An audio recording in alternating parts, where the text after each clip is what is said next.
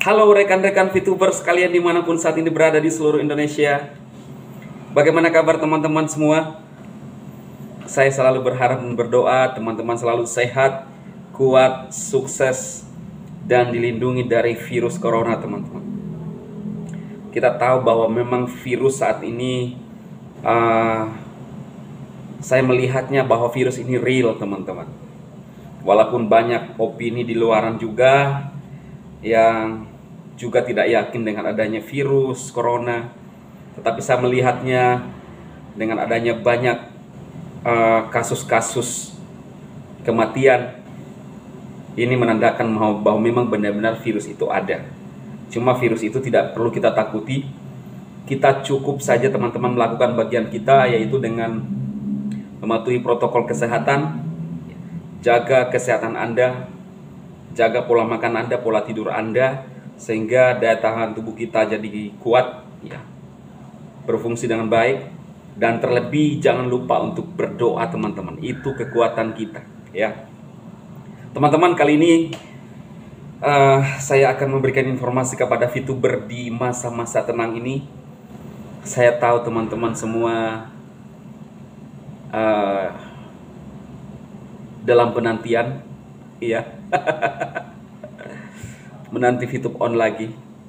Dan saat ini saya akan memperlihatkan progres daripada pembangunan gedung Viples, teman-teman. Ya. Judul saya kali ini adalah uh, nasib gedung Viples setelah VTube uh, off, ya. Jadi nasib, nasib, nasib gedung Viples setelah VTube off, ya. Gimana nasibnya teman-teman? Dulu ada orang yang tidak yakin. Dulu banyak orang yang menyinyir. Tetapi ternyata progres berjalan terus. Dulu orang mengatakan bahwa bayi prematur, menyinyir, mengejek, meremehkan. Tetapi terbukti Anda bisa melihat sendiri progres dari pembangunan gedung Viples teman-teman. Lihat ya, saya tampilkan di layar. Nah, apakah dengan adanya VTube di off kan terpengaruh gedung Viples? Tentunya tidak, teman-teman. Tidak terpengaruh karena VTube tidak di take down dan tidak diblokir dan tidak scam. Ya, ini adalah bagian langkah manajemen untuk membuat perbaikan yang lebih spektakuler untuk para VTuber. Itu sebabnya kalau Anda melihat di layar gedung-gedung, ruang-ruang setiap ruang dari ruang Viples itu sangat luar biasa, teman-teman. Ya kan? Ini memberikan satu bukti bahwa memang perusahaan itu bekerja. Iya kan, teman-teman? Tidak off semua. Nah, itu sebabnya saya selalu mengatakan kepada Anda bahwa kitalah yang mengetahui sistem kita. Bukan orang luar, orang nyinyir, bukan. Kenapa saya dari setiap video-video saya saya ada selalu menyentil uh, para penyinyir atau haters? Selalu saya mengatakan bahwa perlu kita luruskan.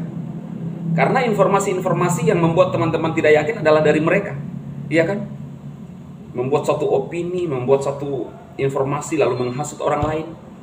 Tapi faktanya tidak ada satupun yang benar. Iya kan? Dia hanya mengarang-arang. Tapi itu bukanlah esensi yang sebenarnya.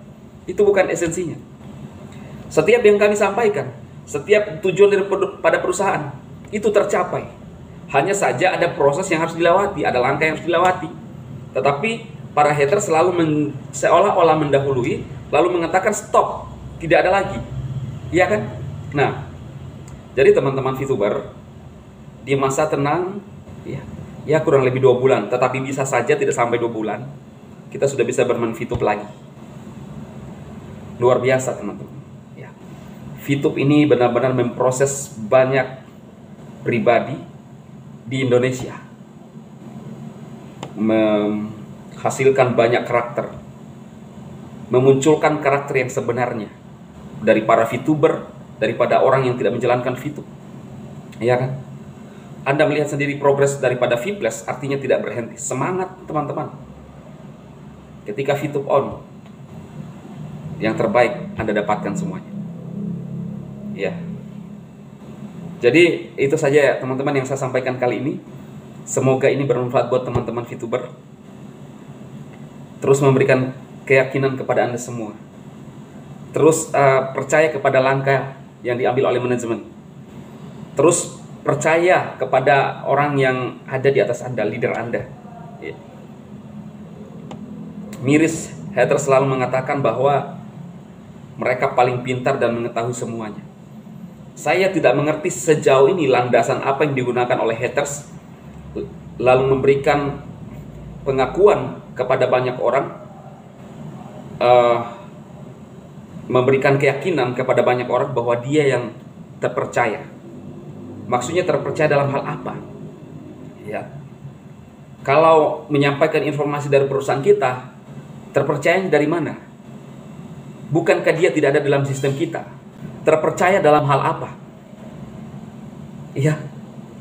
Kalau terpercaya dalam menyinyir, iya. Terpercaya dalam menghina, iya. Terpercaya dalam uh, mengintimidasi, iya. Terpercaya dalam menghasut, iya. Semua ilmu yang didapatkan, ya, detail yang didapatkan, semuanya bermanfaat sangat bermanfaat dan sangat berguna untuk menyinyir dan menfitnah dan menjatuhkan aplikasi orang lain. Cerdasnya di mana? Saya selalu mengatakan begini. Kalau lu merasa bahwa saudara-saudara lu dikibuli, kan pernah mengatakan begitu. Saudara-saudara dikibuli bermain ponzi. Banyak hal yang bisa dilakukan. Tanya saudaramu, saudaramu yang bersangkutan, jangan bermain ini selesai. Jangan justru memfitnah dan memojokkan orang-orang yang punya perusahaan atau yang punya uh, misalnya leader-leader dalam hal ini Fitub yang punya hak juga untuk membicarakan dari channelnya. Sebagaimana Anda terus menerus dari channel Anda menjatuhkan Fitub, Anda adalah orang dari luar. Apakah leader-leader tidak punya hak untuk meluruskan? Lalu Anda melihat dari sisi apa yang lu lihat. Jadi ini pandangan yang berbeda yang kita harus saling menghargai, coy. Simple. Anda berkoar-koar bahwa leader-leader menipu, mengkibuli. Siapa leader-leader itu? Coba sebutkan secara eksplisit nama mereka dan tunjukkan di dalam channel Anda bukti yang dirugikan oleh siapa merugikan itu. Ada tunjukkan kalau lu merasa selalu mengatakan bahwa ditipu, ditipu, ditipu, saudara-saudara saya dikibuli. Tunjukkan saudara mana yang dikibuli, tunjukkan berapa kerugian saudara Anda, bagaimana hubungan Anda dengan saudaramu itu yang dikibuli, apakah saudara kandung, satu ayah, satu mama, satu bapak, sepupu sekali, tunjukkan. Kronologinya seperti apa dia masuk. Siapa yang mengajak, leader siapa yang masuk. Apakah disuruh oleh leader siapa yang lu maksud? Apakah disuruh paksa dari perusahaan? Tunjukkan semuanya supaya clear. Karena kalau kita merasa cerdas, kan lu selalu bilang ada bukti-bukti berdasar ada fakta data. Data yang seperti apa? Ingat data banyak, bisa data palsu, data yang asli, data benar, data dari media sosial yang tidak berdasar, hanya opini. Tunjukkan semuanya. Yang saya sampaikan hari ini data foto-fotonya, faktanya, gedung Viples progresnya seperti yang Anda lihat. Ya. Faktanya bahwa kita telah memperoleh PSE. Faktanya bahwa kita telah memperoleh PMSE. Faktanya bahwa kita telah dinormalisasi. Fakta apa lagi yang, yang Anda minta? Lalu kalian selalu mengatakan ponsi, ponsi, ponsi. Mana tunjukkan Ponsinya di mana? Ponsinya di mana? Ingat, ponsi itu kita bisa mendapatkan keuntungan 5 40 sampai 50% itulah ponsi karena orang yang terdahulu masuk ditutupi ditutupi oleh uang yang disetorkan oleh orang yang baru masuk. Dia pernah menyebutkan tentang uh, first travel, ya. Ingat coy, kasusnya beda. First travel ini memang kita menyetor uang lalu dijanjikan itu untuk nanti umroh. Ada uang yang di store, lalu kemudian ada jangka uang kita itu uh, istilahnya buat kita itu mengendap, ya kan? Ada jangkanya. Sedangkan VTube ini adalah kita nonton lalu dibayar. Siapa yang tidak mau ketika nonton lalu dibayar? Ketika ada orang membeli views, itu kebutuhan dia untuk memasang iklan. Siapa yang mau larang? Anda yang berkoar-koar. Ya kan? Lucu. Kalian tidak join, apalagi si Ubanan tidak join, tidak beli views, tapi aneh dia yang berkoar-koar merasa dirugikan.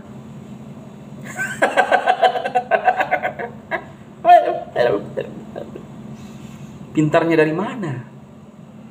Ilmu dari mana? Ilmu nyinyir. Aduh.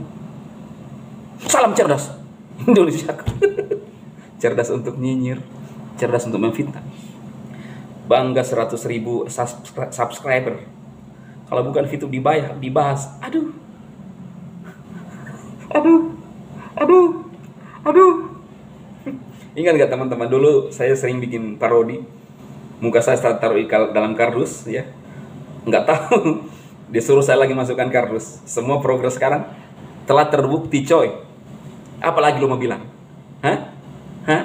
Bahkan sempat dia membahas Ibu Yonita, dia bilang, kan Ibu Yonita tuh ngomong bahwa kita, mari kita berdoa teman-teman dukung doa. Dia meremehkan di situ. Berdoa apa lu? Wis, ngeri ini orang. Orang punya harapan untuk berdoa yang terbaik, dinyinyir, diremehkan. Sadis. Sadis.